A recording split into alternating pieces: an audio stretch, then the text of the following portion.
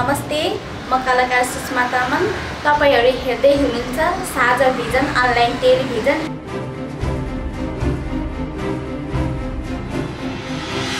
विभिन्न किसिमको प्रोग्रामहरू आउने गर्छ। यो हेर्नको लागि चाहिँ तपाईँहरूले प्लिज सब्सक्राइब गर्न नभुल्नुहोला। धन्यवाद।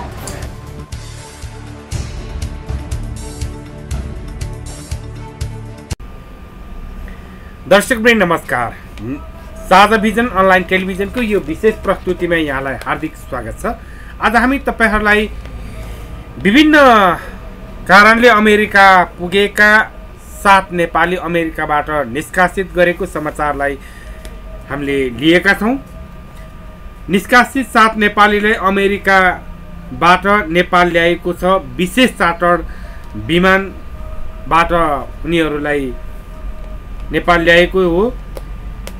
उनीहरू हुनुहुन्छ टासी शेर्पा तारक पुन मगर ध धनीमान बुढा केशव थापा चित्रबार थापा रविन्द्र बलामी र अमर बस्नेस। यिनीहरूलाई किन निष्कासित गर्यो? कसरी निष्कासित गर्यो? भन्ने विषयमा यहाँ समाचार पनि छ। अवैध मार्ग हुँदै अमेरिका पुगेका सात नेपालीलाई त्यहाँको अध्यागमनले पक्राउ गरी निष्कासन गरेको छ। निष्कासित सात जनालाई विशेष चार्टर जहाजबाट बुधबार बेलुका त्रिभुवन अन्तर्राष्ट्रिय विमानस्थलमा ल्याइएको छ। जहाज ओर्लना सात ती सात नेपालीलाई विमानस्थल स्थित अध्यागमन कार्यालयको जिम्मा लगाएको थियो। निष्कासन हुनेमा रामेछापका टासी शेर्पा रुकुमका तारक पुन मगर र धनीमान बुढा कास्की पोखराका केशव थापा कास्की हेम्जाका चित्रवर थापा मकनपुरका रविन्द्र बलामी र बागलुङका अमर बस्ने छन्। उनीहरू नौदेखि सोह्र महिनासम्म अमेरिकाको अध्यागमन हिरासतमा थिए। अमेरिका स्थित नेपाली दूतावासले ती नेपालीको ट्राभल डकुमेन्ट बनाएपछि त्यहाँको अध्यागमनले उनीहरूलाई निष्कासन गरेका हुन्।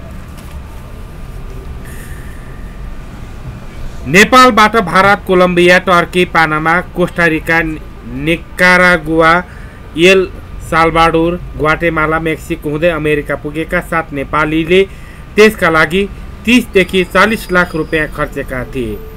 देशै पिच्छेका दलालबाट पटक पटक ठगिँदै मेक्सिको बोर्डरबाट हम्फालेर अमेरिका पसेका सातजना मध्ये कसैले पाँच महिना त कसैले सात महिना लामो अवैध यात्रा गरेका थिए।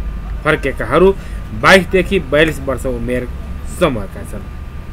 यसरी युवा पिँढीहरू विदेश पलायन हुने र विदेशमा ठगिने अनि स्वदेश निष्कासित हुने यी समस्याले गर्दाखेरि नेपाली युवाहरूमा वितृष्टा पैदा भएको छ।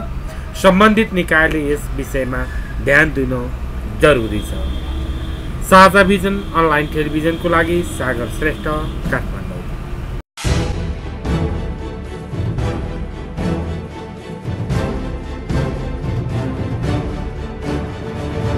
नमस्ते म कोरियोग्राफर सुशील तामा